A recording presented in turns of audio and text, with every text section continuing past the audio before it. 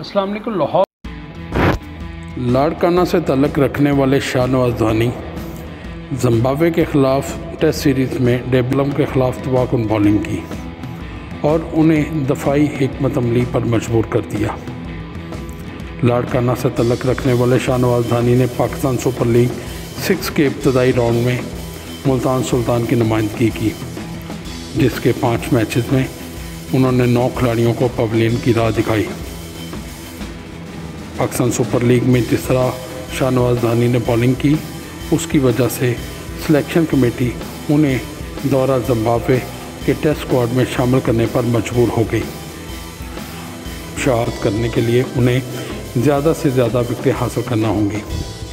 शाहनवाज धानी अभी जिस उम्र में हैं तो उनके लिए बेहतरीन मौका है कि वो अपनी मेहनत और फॉर्म के ज़रिए पाकिस्तान की कामयाबियों में करदार अदा करें।